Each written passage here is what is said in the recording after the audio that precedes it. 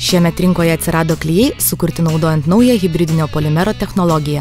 Vieni iš tokių klyjų yra skirti parketo klyjavimui ant šildomų grindų. Pagrindiniai yra trys svarbiausi aspektai. Kad jie yra tinkami šildomoms, elastingoms grindims, kad yra tvirti ir ilgamžiai. Tie klyjei vieną kartą jau kai priklyjuoja tas grindis, jie neatsiklyjuos jums nei po 5, nei po 10, nei po 20 metų.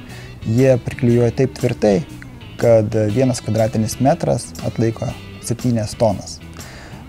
Ir tas neleidžia grindims klaipytis, judėti ir grindis visą laiką stovi toj pačioj vietoj, kur ir buvo priklyjuota. Žmogus, tarkime, 150 kg gali vaikščioti, jos jokio neduoda uh, tokio vaikščiojimo, trinties tarp vienos ar kitos lentos. Labai tvirtai prisiklyjuoja. Šios klyjus galima naudoti klyjuojant ir kitokias grindis, tokias kaip dvisluoksnis trisluoksnis parketas arba medžio masyvo grindis, ant betono savaime išsilyginančių mišinių, magnio dioksido, gipso ar medinės plokštės. Labai svarbus momentas yra tas, kad labai paprastas tais klyjais yra dirbti. Pagrindo nereikia gruntuoti.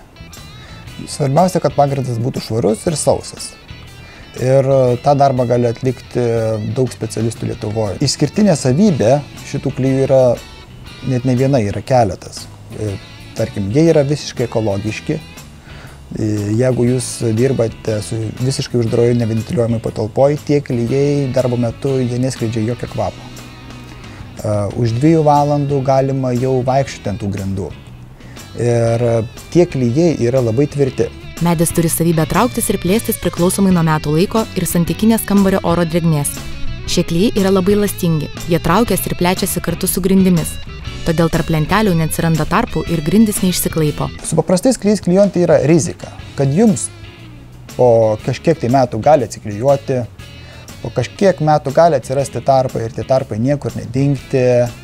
Uh, atsiranda po penkių ar po kiek tai metų atsiranda braškėjimas grindų ir pats medis jisai gali pradėti banguotis. Tai su šitais klyjais jūs prisikliuosit grindis vieną kartą ir pamiršit, kad jūs turite problemų su grindim ir po 10, ir po 20 metų jums ten nebus nei tarpukų, nei grindys braškės, ir net jums grindys atšoks nuo paviršiaus ir juos neims bankuosius nieko. Jums tik reikės persilakuoti ar nusalyvuoti, nusišlifuoti ir viskas. Šie klyjai turi gerą išeigą, todėl grindų klyjavimo darbai nėra brangus. Vieno kvadratinio metro kaina siekia tik 25 litus, todėl jie yra ne tik patvarūs ir ilgamžiai, bet ir ekonomiški.